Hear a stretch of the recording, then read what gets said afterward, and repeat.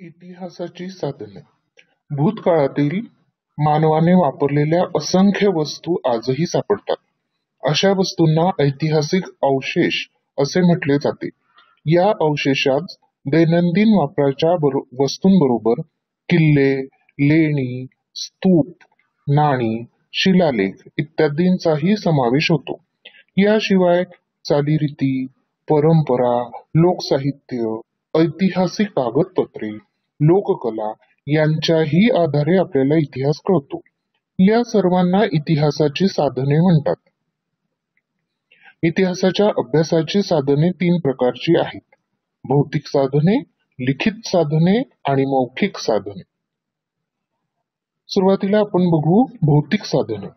मानवाने अश्मयुगात दगडापासून तयार केलेली हत्यारे वापरली, तर त्यापुढील काळात तांबे, कांस्य, लोखंड इत्यादी धातूंचा वापर करून हत्यारे बनवली. विविध हत्यारात आलेल्या या सुधारणांच्या आधारे मानवाच्या तंत्रज्ञानाच्या प्रगतीची माहिती मिळते. पुरातन काळातील काही वस्तू, घरे, इमारती, लेणी, मंदिरे यांच्याद्वारे त्या काळाविषयी महत्वाची माहिती मिळते. पुरातन काळातील अवशेष भूकंप, महापूर आणि अन्य कारणांनी जमिनीखाली काढले जातात. हे अवशेष जसेच्या तसे बाहेर काढण्यासाठी शास्त्रशुद्ध पद्धतीने जमिनीचे खोदकाम करतात. त्याला पुरातत्वीय उत्खनन असेही म्हणतात. या उत्खननात सापडलेल्या अवशेषांचा शास्त्रशुद्ध अभ्यास करावा लागतो. त्या शास्त्राला पुरातत्वविद्या असे म्हणतात. सापडलेल्या पुरातन वस्तूंमधील खापराच्या तुकड्यांचे आकार, त्यावरील रंग आणि नक्षी, त्यांची जाडी यावरून ही भांडी कोणत्या काळातील असावी याचा अंदाज बांधता येतो. दागदागिने आणि इतर वस्तूंवरून मानवी समाजाच्या परस्पर संबंधांची माहिती मिळते.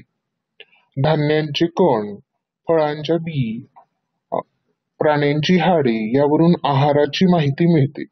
वेगवेगळ्या काळात मानवाने बांधलेल्या घरांचे व इमारतींचे अवशेष सापडतात.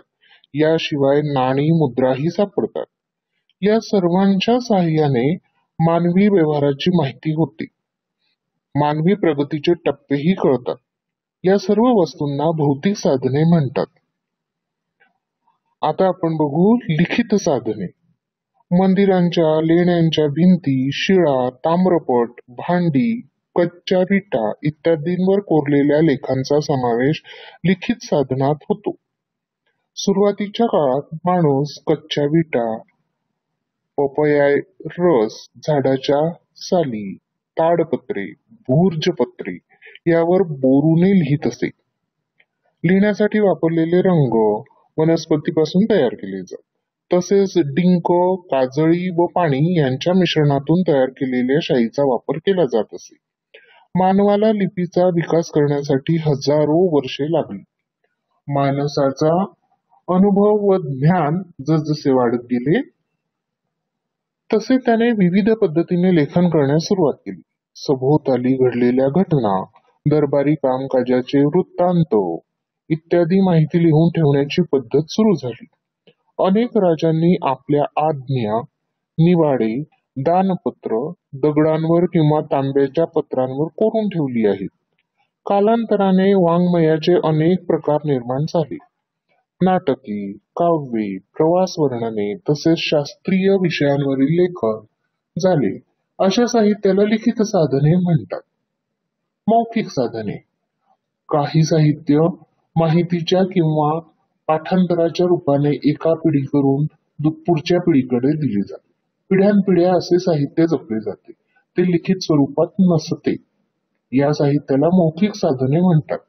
मौखिक साधनांमध्ये ओव्या, लोकगीत, लोककथा इत्यादींचा वापर होतो.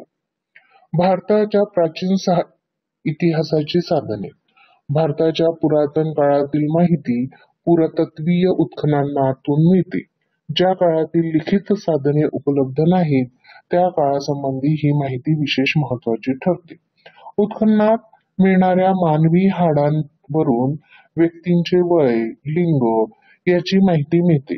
नगररचनेच्या अवशेषांमुळे तत्कालीन रस्ते, घरे यांच्या बांधकामांची कल्पना येते. वैदिक वाङ्मय, रामायण, महाभारत ही महाकाव्य, जैन आणि बौद्ध धर्मांचे ग्रंथ यामुळे भारताचा प्राचीन इतिहास समजण्यास मदत होते.